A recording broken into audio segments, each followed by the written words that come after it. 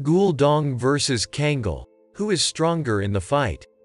Gull Dong. The Gull Dong or Pakistani Bulldog is a little known and rare breed of dog. The result of crossing a Gull Terrier and a Bully Kutta.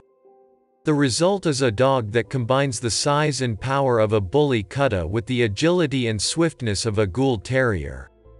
The breed was created for protection and fighting, so the Gull Dong is a muscular, powerful, intelligent and strong breed, in the character of which aggressiveness and dominance are combined.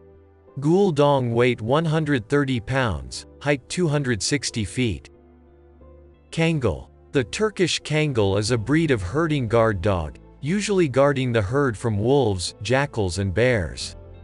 Dogs of this breed are calm, independent and strong, the Kangal always controls the situation and is sensitive to its changes, responds to threats instantly and adequately. They are excellent protectors for both livestock and people, by the way. The Kangal is one of the few breeds that can cope with a wolf in a fight. Kangal is 300 feet tall and weighs 175 pounds.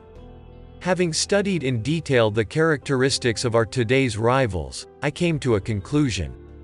Gull Dong is more enduring, more agile, more flexible, more aggressive, better reaction, better developed fighting qualities. Kangal, in turn, surpasses the Gull Dong in the following indicators.